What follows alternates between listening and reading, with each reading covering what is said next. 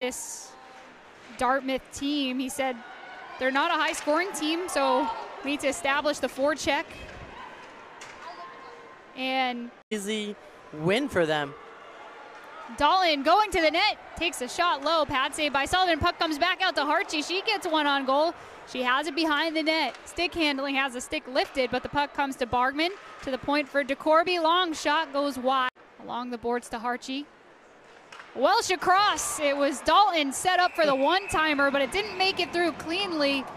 And Sullivan able to cover the puck in the crease. Today, Yeah, that was Bargman and Fiorenza tied up. Seitz with the puck for the Bulldogs. Under three to play in the period. Seitz on the backhand. A stick save made by Sullivan before she hits the pads. And now in behind everyone, it's Donahue makes the move and Dukerich makes the stop. She had gotten in behind Seitz who had jumped into the Poniatovskaia. Bargman was in the crease. DeCorby's shot. Save made by Sullivan. Poniatovskaia across for Hartje. Puck pops onto the net. Bargman flips it off, and we get the stoppage up. At the point, Bojarski can't drag it. And coming quickly the other way is Bolby. In behind everyone, but the stick lifted by Bojarski. right, is a first year.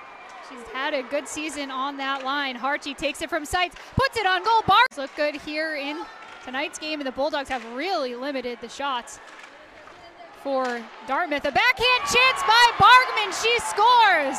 Falling down, she lifts it into the top of the net and puts the Bulldogs up one That puck came flying off.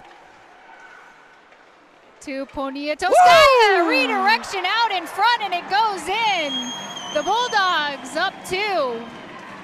She has Ray ahead of her, goes there. Ray to the dot, backhands to Bargman, she scores! Anna Bargman, second of the night, and the Bulldogs are up. Erica Bamford, head coach, has been doing a great job with them. I was able to catch practice earlier this week, and let me tell you, their offensive firepower is is And the puck went into the corner. Dalton to D'Antonio, down low, backhand chance for Welsh is loose, and it's tapped in by Seitz.